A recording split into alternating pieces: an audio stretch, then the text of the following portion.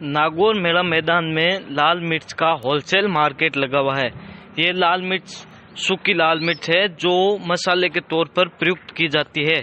इसके भाव अलग अलग हैं। ये तीन प्रकार की लाल मिर्चों का होलसेल मार्केट लगा हुआ है। सोयला की लाल मिर्च, बिराई की लाल मिर्च व गुजराती लाल मिर्च का यहाँ पर मार्केट लगा हुआ है। यहाँ पर बाज़ार के माफिक सस्ती लाल मिर्च उपलब्ध है। साथ ही पिसाने पर यहाँ पर दस रुपए प्रति किलो भाव लाल मिर्च का बढ़ जाता है। साल से। बाबूलाल जी, गाँव पीपाड़ सिटी। मिर्चा पेशण तो पड़ता है। मिर्चा एक तो देखना में सिल्का अपना मिर्चा का आता है, नारंगी कलर। और गुजरात की मिर्चा का कलर रहता है लाल। लाल तक मिर्चा का कलर चेंज नहीं होता, है जड़ा जड़ा कलर रहता है। और आजू बाजू गाँव में फिरने वाला सब गुजरात की मिर्चा बेचता है, इनका कलर दाना जैसा कलर हो जाता है, महीना दो, तीन महीना बाद में। गुजरात की मिर्चा जो चल रही है दो सवा दो सौ से ले तीन सौ रुपया।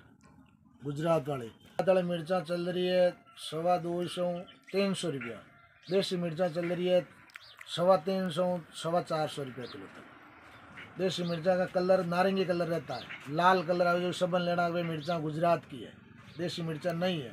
जो आजू बाजू गाँव में फिरने वाला बेचे नहीं देसी मिर्चा इतनी है ही नहीं। इतनी देसी मिर्चा सब गुजरात की है। देसी मिर्चा नहीं है।